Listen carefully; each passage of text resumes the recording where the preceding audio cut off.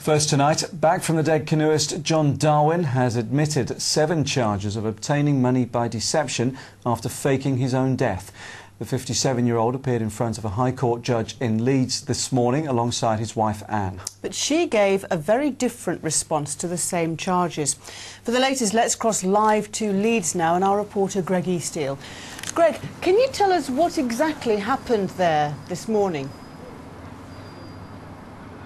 Well, he may be back from the lead, but from the death, but uh, in the land of the living, uh, John Darwin's a man who has to account for his actions in court, and that's what he was here for this morning, under the usual intense glare of the media. Photographers swarming around the prison van, trying to catch a glimpse of him. In fairness, we didn't see him at all. The first time we really got to see him was in court with Anne Darwin. They appeared, of course, as husband and wife, but it's important to remember, in the eyes of the law, they were appearing as separate defendants, and to that end, they both entered very different pleas to the charges against them. Let's start then with John Darwin. He's effectively held his hand up to all the charges against him of obtaining monies by deception of faking his own death, monies amounting to hundreds of thousands of pounds. Anne Darwin, though, well, her pleas couldn't have been more different. Not guilty on all fronts, she said, and that means she'll now face a trial on Teesside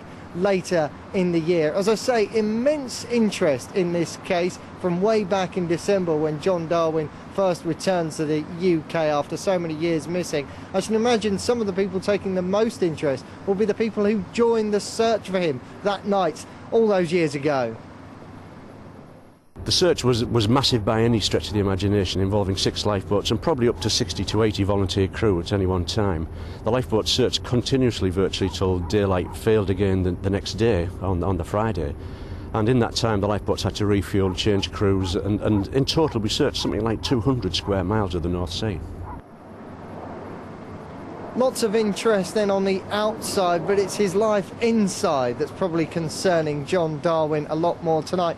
We heard in court that the former prison officer has been having a difficult time in prison. Self harm was mentioned, and we also gather that he's been psychologically assessed. So he'll be worrying considerably about just exactly how heavy his sentence will be. He won't find that out until Anne Darwin's trial has ended. That's expected to take place on Teesside in July. But his own barrister said in court that he is expecting a lengthy prison term. So another extraordinary day for that couple from Hartlepool who seem capable of creating headlines around the world.